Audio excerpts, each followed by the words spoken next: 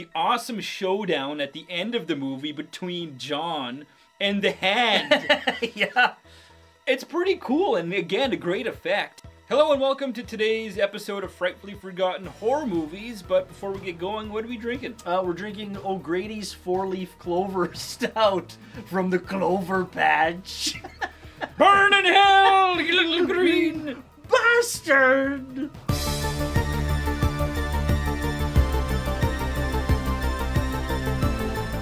Today we have a Patreon requested review, and Will Brown would like us to review 1981's The Hand. The Hand was directed by Oliver Stone. the Hand was directed by a famous director, Oliver Stone. He did Platoon, JFK, and Natural Born Killers, just to name three. It stars the legendary Michael Caine, who's been in so many damn things, but we're just gonna name a couple of movies. Well, we're gonna mention Jaws 4 because we reviewed it a couple of years ago. Yeah. And he also was in a really good thriller by De Palma called Dress to Kill. or he's in drag. Yeah. Andrea Marcovicci's in this, and she mostly did television, but we're gonna mention one movie Space Hunter Adventures in the Forbidden Zone.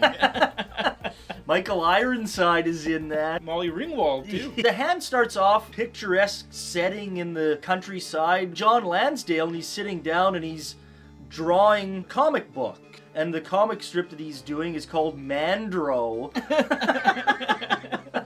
but it's a big seller. Yeah. Um, he's basically um, made a living off of selling these comics called Mandro. His daughter is playing and she's playing with this lizard and the, the, the tail comes off. He's like, look, daddy, look, there's, there's this lizard here and the tail came off. Like, is it gonna grow back? And he gets into the house and his wife right away confronts him and they've been looking for a house in the city in New York and she wants to really move there and he's not that crazy about it. They get in the car, they start driving. Right away, they start getting into a big argument about the situation that they're in, right? Yeah. She wants to move to New York, and she's not that crazy about having him move with her. it's like, so you're gonna leave me here to pay all the bills. It's not gonna happen. He's all mad and everything. I'd be mad too. While they're driving and arguing, there's this woman in behind them honking the horn, wanting to pass. He's like, "Uh, uh, "Watch out! Watch out, you silly cow!" She wants to pass too. A car in the oncoming lane coming right towards him. He's like, "Oh, watch out!" And he has his hand out, trying to wave this woman along. And his wife speeds up and cuts his arm, his hand off. And it's awesome. big truck. This big log truck. the car all gets all jolted up and his hand is all rubber. and Flies off. Ah! Ah! He's all super hamming it up, Yeah, afterwards. Yeah. Yeah. It's a pretty good scene though. There's a lot of blood. Which Yeah, and it's pretty. It's a very intense scene, you know. The authorities try looking for the hand. They're all trying to scour the, the field for it. And like nobody can find it. It's just gone. But you do see a shot of it laying there and it's all like rotten and Yeah. everything. He's lost his livelihood. He gets up in the middle of the night and he sits down and he tries drawing with his other hand. And And it looks like garbage. yeah, it's all shitty. and there's this wood pile too, and he hears like a rustling by the wood pile. This cat jumps up onto the counter, and then it looks at him, and it all jumps out the window, like through the glass. Like- what kind of crazy cat is that? so they end up moving to New York City to kind of start a new life. In the meantime, he goes to the doctor and he gets fitted for a prosthetic, which turns out to be like this this bionic Terminator hand. Like that doesn't exist in 1981. And it's all good too. He can all move it perfectly. Like, yeah, right. Then go all haywire on you.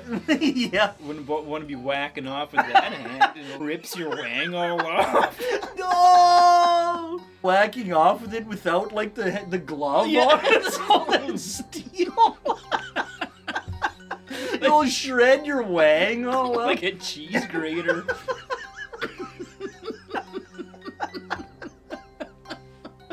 Take a cheese grater to your balls. oh man. Yeah, that's what that would be, for fuck's sakes.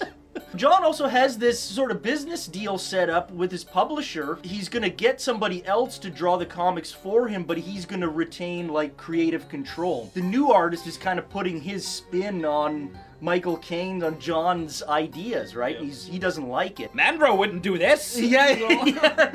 it totally changed the character. They want to sort of push him out of the scene. He leaves the office all super pissed off and he bumps into this bum. We see the bum kind of sit down in this alleyway and we get a POV shot of something that starts chasing the bum. John needs a form of income, and he's actually been offered a teaching position, teaching comic book drawing, which is a weird thing to teach, but okay. a niche thing, Yeah. I guess.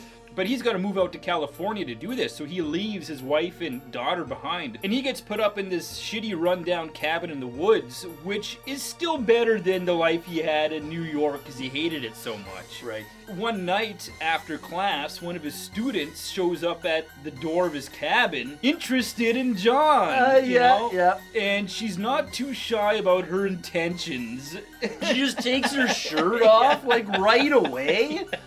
If only it was that easy, eh? Yeah, don't forget he's still married, and he gets with Stella that night, and she's like into the prosthetic hand. She's all like kissing it and everything, and like rubbing it, and He's like do all- it, do it, do it. Some weird, awkward sex scene. starts off all slow and she gets all intense with the hand. So he starts having this affair with Stella. In the meantime, he befriends another teacher at the school, and they're always kind of meeting up in this bar. He mentions to his friend that he's been having these strange blackouts where he'll wake up in the middle of the night and see that he's done this great, magnificent drawing, which he shouldn't be able to do anymore, and doesn't remember doing it.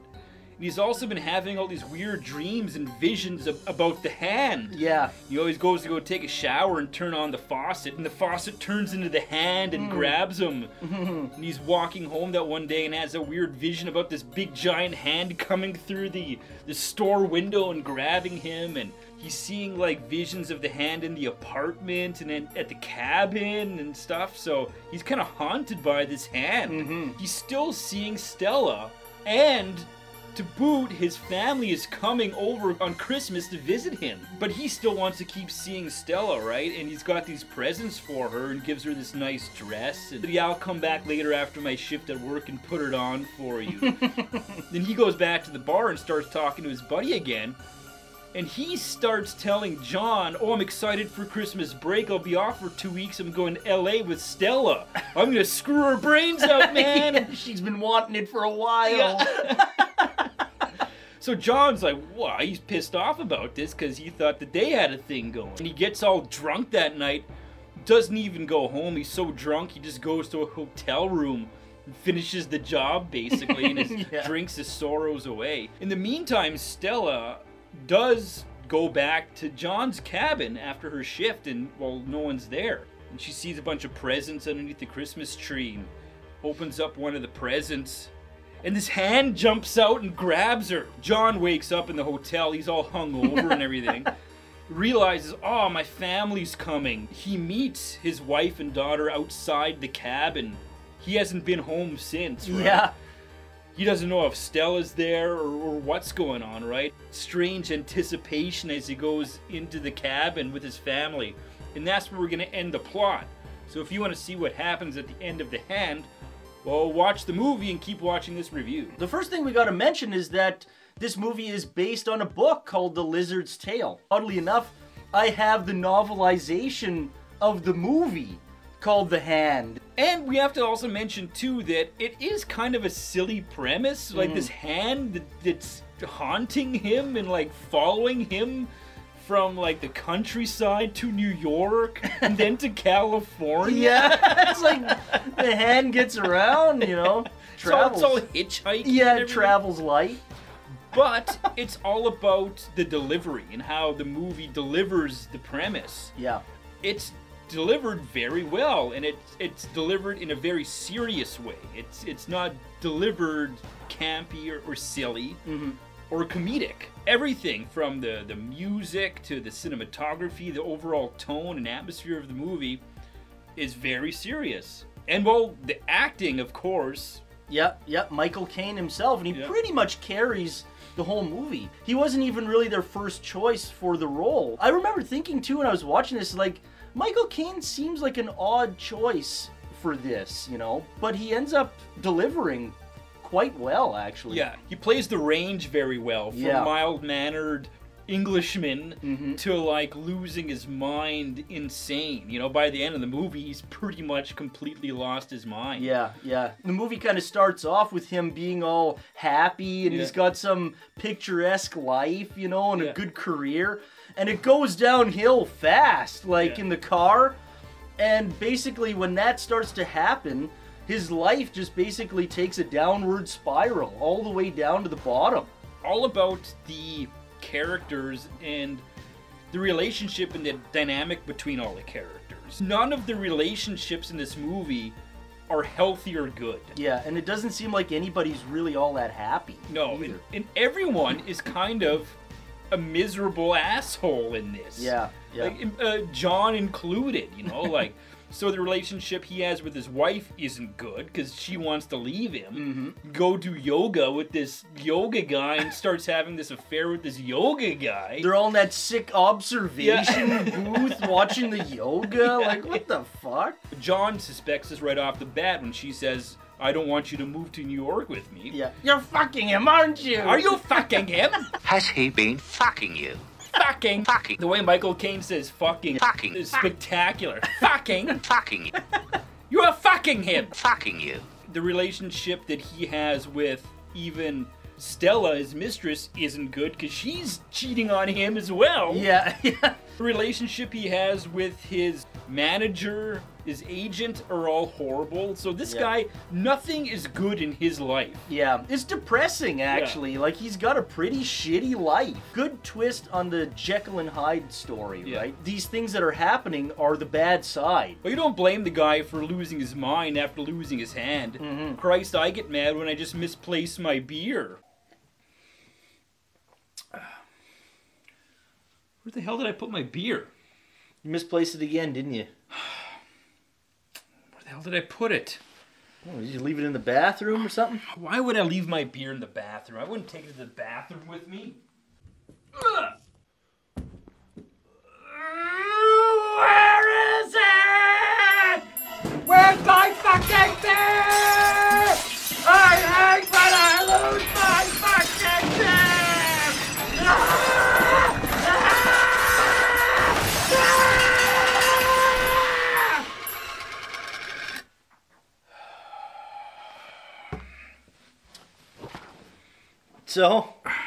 You find it?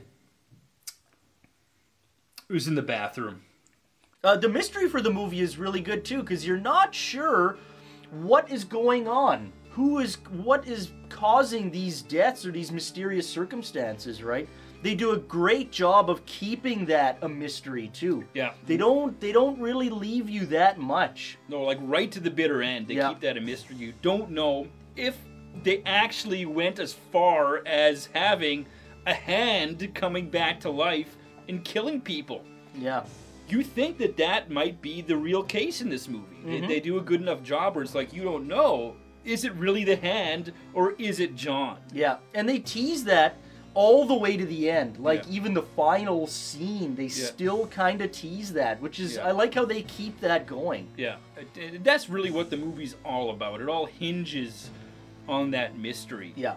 And the effects in this movie are great. You know, the hand, the Yeah. hand looks good. The hand looks cool. Yeah, I like it's all rotten Yeah, looking and yeah. sort of menacing and Yeah. huge too. Yeah, yeah, and it starts like crawling and everything. It's very much like you know, like a thing Thing, from Addams Family, but also reminiscent to Evil Dead 2 when Ash Yeah. cuts off his hand. It kind of goes hand in hand with the kills. Pretty bloody too. Like the guy in the jeep gets killed by the Mm. hand, like rips his throat all up and everything. It's Yeah. a pretty gruesome kill. Even when Michael Caine loses his hand, it's, there's a lot of blood, Yeah, you know? yeah, and the effect is good. Even, even though we can tell it's his rubber hand, Yeah. it's still a good effect. It's still believable, right? Yeah. You have to mention the sound design in this movie is like really good. Yeah. The fact that we both noticed it, it does a really good job of building the tension. Mm-hmm. Like right from the beginning when him and his wife are arguing in the car, and the car behind them is honking. You don't see the car Yeah. behind them. You just hear the eh, eh, and as they're getting more heated, this car starts honking at them more. Pisses you off more. And it's pissing you off too as the viewer. It's like, well, fuck, like just pass them or whatever. You yeah, know? like yeah. yeah, and even like the clock ticking in the background while they're having a bit of an argument, It's all you know? super. and- It's louder than it should be. You Yeah, know, to, yeah. To, to, for that reason. Yeah, you know? hear like water dripping from the faucet, and you hear things crunching, and like the floor is creaking. It really helps to place you as the viewer right there. Yeah. And the music is great for this movie too. It was done by James Horner. It helps build the atmosphere for the movie. It helps build the tone. Yeah. Because like you were mentioning, it's a serious movie. That helps. And we have to mention the awesome showdown at the end of the movie between John and the hand. yeah. it's pretty cool, and again, a great effect. You can't watch it without thinking that Evil Dead 2 must have been at least slightly inspired by this scene because it is very reminiscent of Ash versus his hand. Yeah, exactly. Evil Dead 2. and the way they do it too, you know, like you don't you just see the hand coming up, John, so you don't see what's below. Yeah. And it's like it's done really well. Yeah. Like like the fingernails on the hand too and everything. it's like ugh. This movie is full of twists and turns. You know, there's actually a couple of twists in this movie because there's the reveal. You find out whether or not it is a real evil hand yeah. Or not, and then after that, there's another twist at the end. Yet, just before the credits roll. So it keeps you guessing all the way through. It kind of keeps you on the edge of your seat and wondering, like, well, Yeah. what the hell's going on here? Is he really insane, or is it this fucking head? Yeah, yeah. no, and it's great. It's Yeah. a thriller mystery movie. Again, silly premise, but pulled off in a serious way that you believe it. And it's stylistically very interesting too. A lot of neat things happening with, like we mentioned, the sound. It cuts to black and white for some scenes. POV shots when people get killed by the hand suddenly turns to black and white. That old monster movie Yeah. sort of feel. Yeah, so it's, it's kind of artsy in a way too. Right, yeah. Yeah, they, they really did a good job, you know. It's funny, for a movie that almost seems a little filler in everybody's career. Yeah. Oliver Stone, Michael Caine. Yeah. It kind of isn't. Yeah. It's just not a throwaway movie. So if you're in the mood for a good murder mystery with some supernatural elements and that deals a lot with like human psychology, Yeah, the human condition. definitely check out The Hand. It'll leave you gripped in fear. yeah.